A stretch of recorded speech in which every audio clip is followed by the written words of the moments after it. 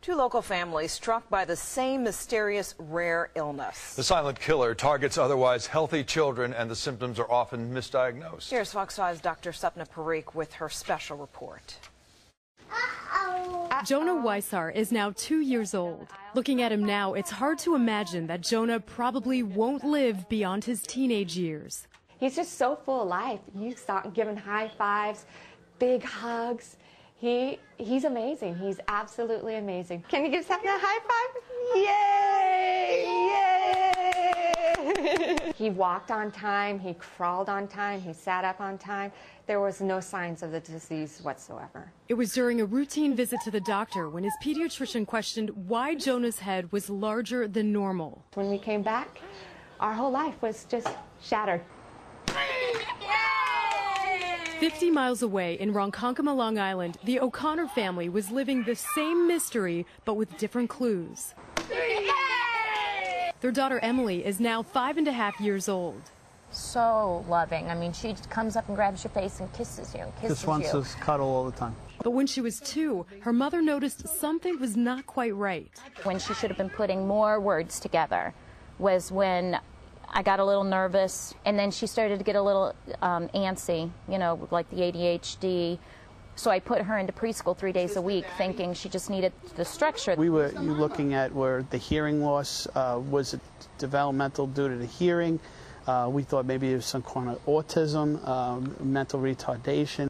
But Emily's behavior, her frequent ear infections, and the size of Jonah's head are all signs of an extremely rare condition called Sanfilippo syndrome. It's a genetic condition where children are missing the enzyme that allows them to break down certain sugars, so they build up in all parts of the body and brain. We don't have a cure for yet. We don't even have a treatment. Dr. Wendy Chung is the director of genetics at Columbia University Medical Center. She's treating both Jonah and Emily. It's a fatal condition where eventually they're unable to literally even breathe or do the basic things. She doesn't know any different. She doesn't know that she's behind. She doesn't understand that she's dying. She doesn't know this, and she won't.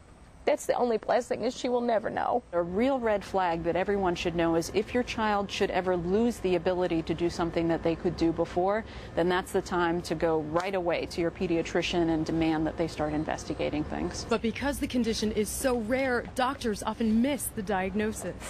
Is it possible that it's more common than we think that many of these kids with autism or another developmental disorder may have Sanfilippo? Sure.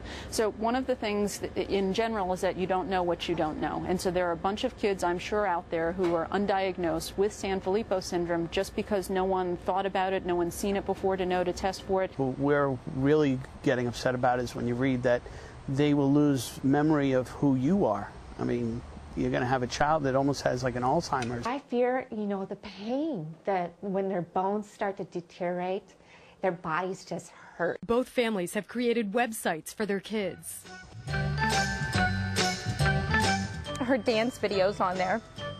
Her laughing and playing, picking pumpkins. Jonah's mother Jill says they have a window of opportunity before his condition gets worse. And I hope that I can get a cure in those two years so I never have to explain to him what's going to happen if I don't get this cure.